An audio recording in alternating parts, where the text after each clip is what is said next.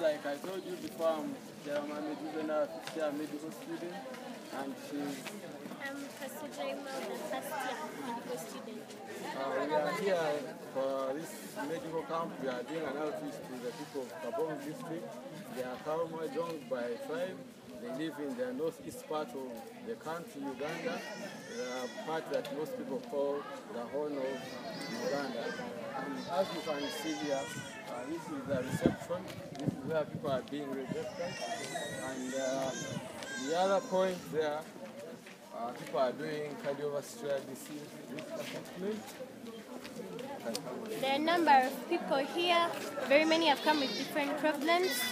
You see that? That's a medical student trying to assess a lady.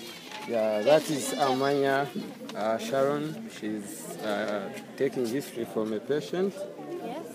Then there is Orient Gerard, uh, first year BMR student. There are quite a number of people People here. here. The line is really long. We really love it. People turn up.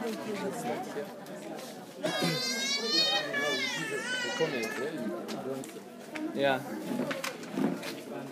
So uh, at this point we have people taking blood pressure to screen for high potential. Uh, then they are also doing cardiovascular, other cardiovascular risk assessment like di- diabetes. They are, they are taking body mass index to look for obesity and uh, being overweight. People are taking waist hip ratio for abdominal fat, which is a risk factor for cardiovascular disease like hypertension, stroke, etc. Uh. So we have here that are recording weight. Weight. This is still um, BMI. Yeah, that is the weight machine. You that?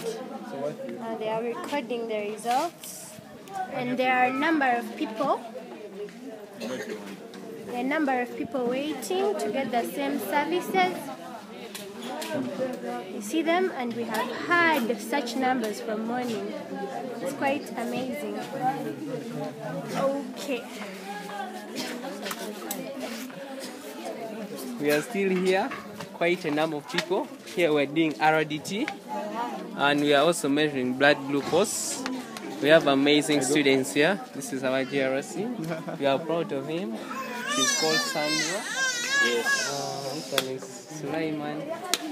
Uh, we have uh,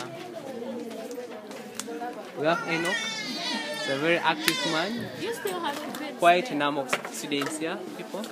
You still have to